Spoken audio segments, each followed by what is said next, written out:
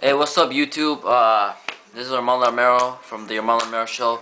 I want to make this video real quick because uh, these pa this uh, this past week, three stars passed away. Uh, I just wanted to make this little introduction video, and of course I want to test that for other reasons that you'll see in the little captions up right here, I guess. But um, the the main reason that those three stars were, of course, Michael Jackson, Farrah Fawcett, and the late Billy Mays, who died yesterday morning. Um, and for more information on uh, their deaths, you're gonna have to see the next video, which after the little captions will be like a link here, or you could just go manually on my page.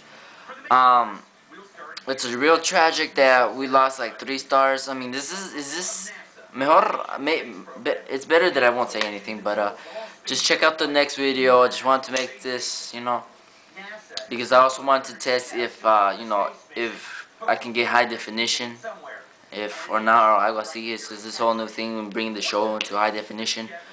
And that's all I got. Uh, just look at the next video for more information.